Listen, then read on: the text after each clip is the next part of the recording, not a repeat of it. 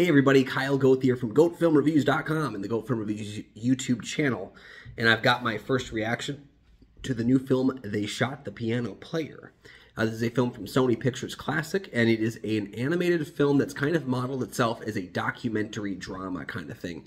It is using real interviews, real, not footage though, um, but with an animated backdrop basically. And it looks at the disappearance and possible murder of a Brazilian pianist named Francisco Tenorio Jr. in, I believe, 1976. Um, the film stars Jeff Goldblum. He's the, the lead voice character, but he plays a man who is basically trying to uncover more about the life and potential death of this pianist. And we've got some other people that are kind of voicing other characters throughout the film, and then some people who are voicing themselves um, through use of old footage or just recent interviews as well to kind of find out what exactly happened. Um, this is a case where there's a couple of these films that have come out this year where I think the the package of the film is quite good, but the content didn't work for me, and that's been true of uh, some of the other documentaries I've talked about.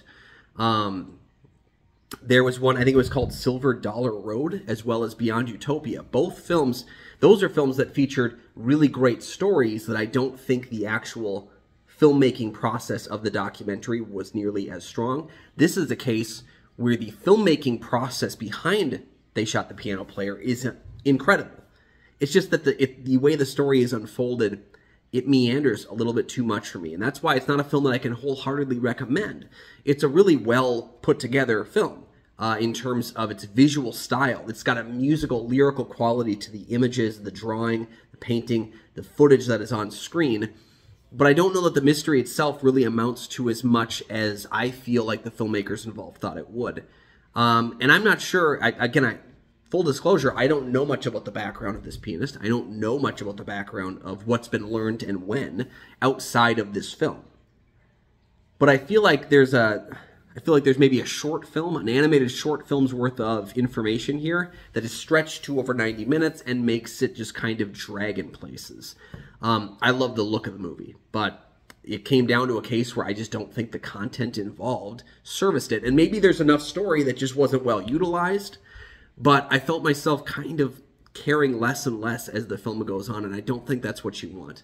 Um, it is similar in ways to the documentary of Searching for Sugar Man, uh, in terms of the the case of building an evidence and finding out information, but I feel like this mystery stops short a little bit and doesn't really doesn't really reach its logical conclusion in a way that I think is satisfying as a story. Uh, and sometimes that's the way it goes with documentary work or docudramas or animated docudramas like this. Um, bold swing, I can give it all the, the credit in the world for the bold swing that they took as uh, creatives to make a film that was like this. I just don't think it ultimately worked all that well for the story, even though I think that the visuals and uh, the lead performance vocally from Jeff Goldblum was quite good as well.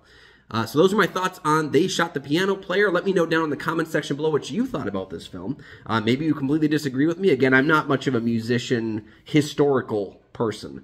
Uh, so maybe if you are somebody who really cares about the history of music, um, really likes the deep cut artists, this might be something that works for you more than it did for me. So I'd love to hear your thoughts about the film as well down below in the comments section. Make sure while you're down there, you please like and subscribe. There are two free ways that you can help support the channel, and you never miss new episodes of the show as they drop. You can also find GoatFilmReviews.com for my many written reviews. You can find Goat Film Reviews on Facebook. You can follow me personally at Almighty Goatman on Twitter, Instagram, Letterboxd, and Threads. And you can find my show, Kyle and Nick on Film, that I co-host with Nick Plachuk in the St. Paul Filmcast, as well as a link to the Minnesota Film Critics Alliance. All those links are down in the description, and we'll see you next time.